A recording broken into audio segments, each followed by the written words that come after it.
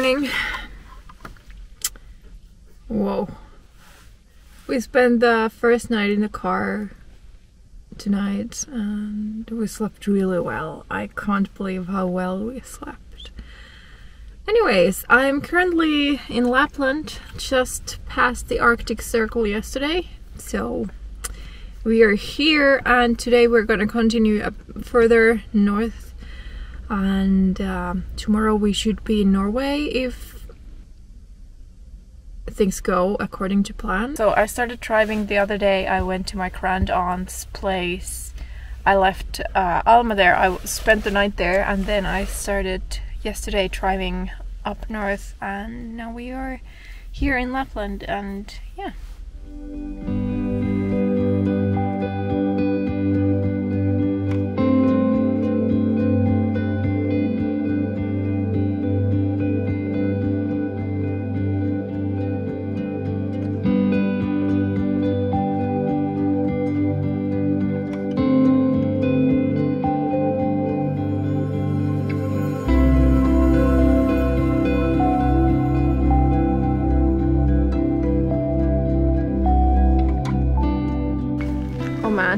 I found my this night's spot. And this is freaking awesome. I, I, I will take some drone footage because it's impossible to really show the beauty with this camera I guess. Um, Sylvie has something to say.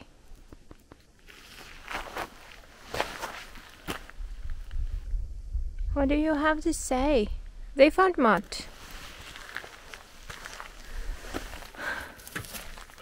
Yeah, you were tied there. They found mud. Look at the paws. They just need to look at her. Look, look at her, Sylvie.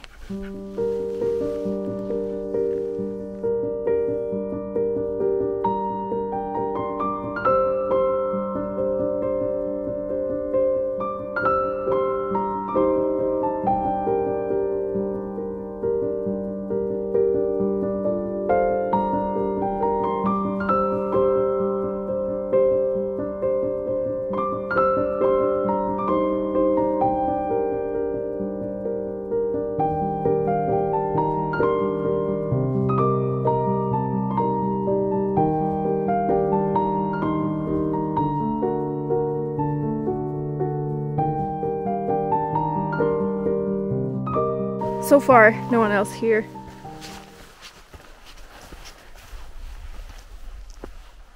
But as last night, there might be people still coming in. I mean, I think it was 10 p.m. or something when last night I got company. But it was really peaceful night also. I've kinda grown fond to this car camping after one night so great. So while they are waiting for their food, I will give you a tour of my setup. So um, this is my first time car camping ever. Um, I've seen videos of other people do that. I've seen people live in their cars. Um, Obviously, I have two dogs. It's a bit of a challenge. It looks a bit messy. That's a dog toy. So this is basically dog space. But Rosa did sleep on my side. So this is my sleeping pad. There's some random stuff between the mattress and the thing. Uh, that bag will be there. But it's now there because I still need some water which you can see from there. Um, I will put it there when I go in. There's my um, stove eating equipment. Um, so this is basically how it is. I have two season sleeping bag back and it worked fine last night. We'll see. It's cooler here so we'll see how that works. Not plenty of space but it's enough I have the darkening film thing, the darkest version you can get, but uh, my front windows have this kind of like bucknet. Um, it's kind of like a hood, and then I put a piece of uh, cut mattress here because I noticed it doesn't prevent people from staying inside. The same mattress is here. Um, it's uh, kind of like foil on the other side and just a normal foam thing on the other side. Everything is in my front uh, bench, but I make sure I have access from back to front to drive if there's an emergency. To have space back, I have everything here, but the driver's seat is empty. And I will leave my shoes here, and the other shoes are back. Yes, I know you are hungry. You still need to wait for bed. So that's my usable water container. It has a tap. I also have another one here behind the mattress. You can only see the dog's brush uh, there. Um, it's currently empty, so I need to refill tomorrow. Uh, there's also dog's food, both underneath that. Also, I forgot to show you the other side where my food is.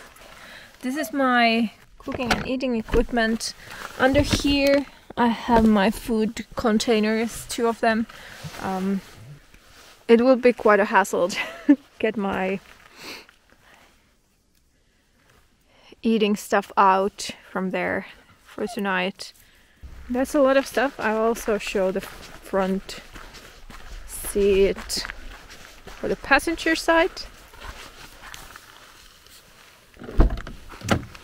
So, as you can see, there's a lot of stuff here. Uh, this is in case we sleep in a tent. Dogs also need a sleeping pad that will give some insulation. I also have a travel battery like this.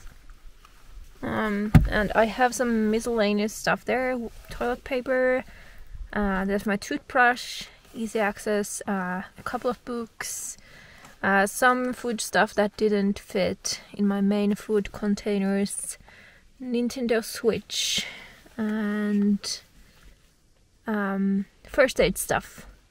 So let me show you around a bit of my current um, campsite, big parking area.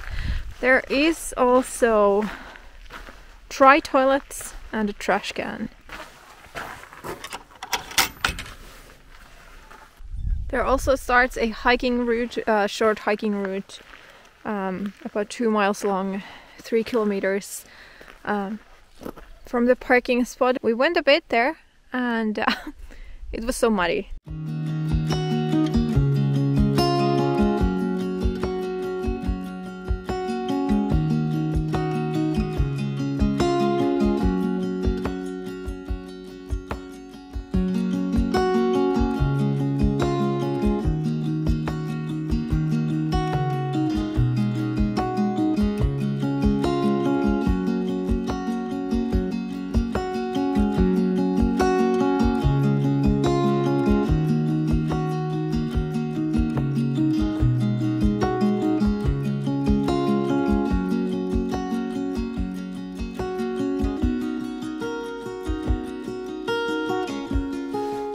I'm eating porridge with uh, with some raspberries on it. It's one of those very quick porridges.